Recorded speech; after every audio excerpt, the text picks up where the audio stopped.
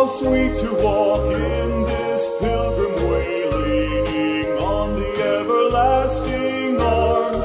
Oh, how bright the path grows from day to day, leaning on the everlasting